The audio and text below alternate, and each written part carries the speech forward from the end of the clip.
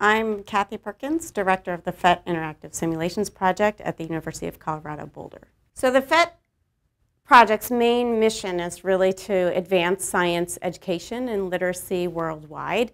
And we do that through the creation of new innovative tools for teaching and learning science and then looking at how those tool, tools can be integrated into the classroom and really change that classroom environment, change the way students are actively engaging with the science content, giving them a way to um, discover underlying science concepts and giving the teacher more tools to facilitate that discovery and really help students ask um, good questions and, and investigate and discover the concepts for themselves. The PhET project is really has kind of two sides to it. It has one side is this um, product development side where we're creating the, and designing the interactive simulations.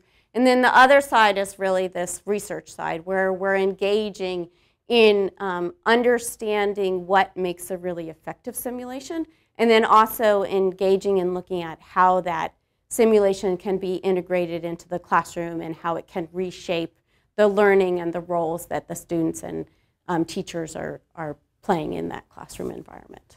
PhET has a collection of over 128 interactive simulations for teaching and learning science, and they are all open um, and available through our website, as well as being open to the world. So they have been translated into over 70 languages and are used across the world.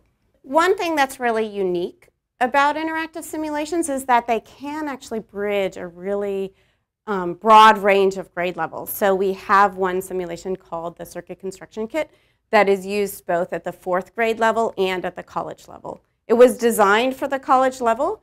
Um, it was designed to teach parallel and series circuits. It was designed to um, teach what happens when you change the resistance of light bulbs or you add resistance to wires. You can build any circuit you want, but one thing that we do with interactive simulations is we make them highly intuitive so that they can be used by a really broad range of users. So at the lower levels, these um, grade school students, they can actually start interacting with the simulation and they pull out light bulbs and batteries and wires and a teacher in that grade might just say, make the light bulb light.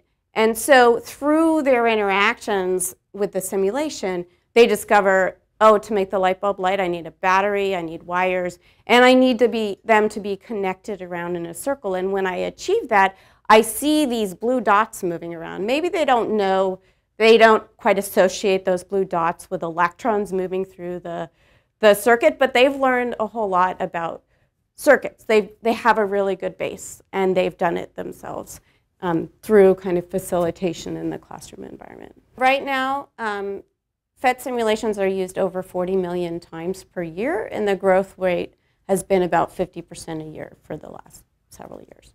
One motivation for creating these new tools like interactive simulations is attracting a broader diversity of um, individuals into STEM careers and STEM learning and, and actually into to science literacy, to becoming science literate.